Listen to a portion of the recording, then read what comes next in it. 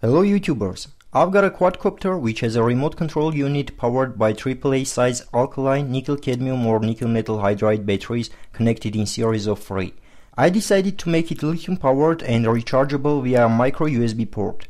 Recently I tested a Queen battery QB10440 cell which is also a AAA size battery but has 3.7 volts nominal voltage. I'm gonna use it with a TC4056A charging board with integrated battery protection but I have to slightly modify it. It comes with a 0805 size 1.2 kOhm resistor soldered on, which means that the charge current is about 1 amp. My battery's maximum charge current is 300 milliamps, and according to TC4056A's datasheet, I have to replace that resistor with more than 4 kOhm one to not kill the battery. Before replacing the 1.2 kOhm resistor, I measured the current on a big battery.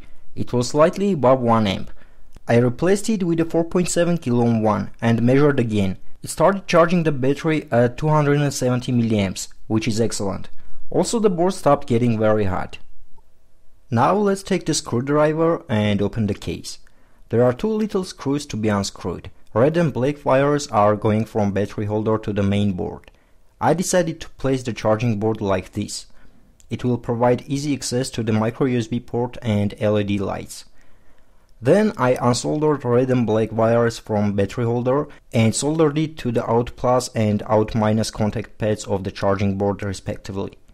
By the way, the remote control will work even while being charged. The B plus and B minus are to be connected to the battery. I soldered another two wires to connect the battery holder, red and black for positive and negative respectively. After that, I soldered the black wire to the pad which carried the negative wire and the red one to the opposite side. Pay attention at where are you soldering on to avoid misconnections and shorting batteries. Now, when all the connections are made, we can test the assembly. As you can see, everything works as it should.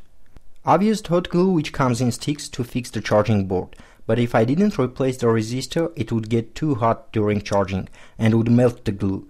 In that case, special thermal conductive glue would do.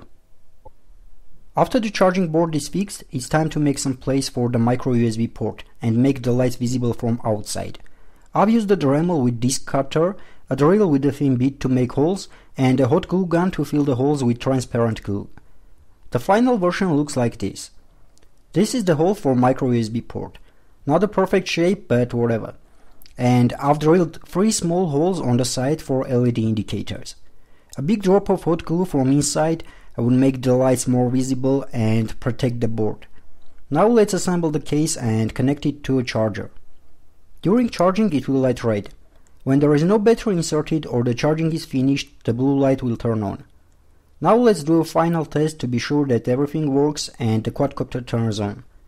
Okay, it's done, it works.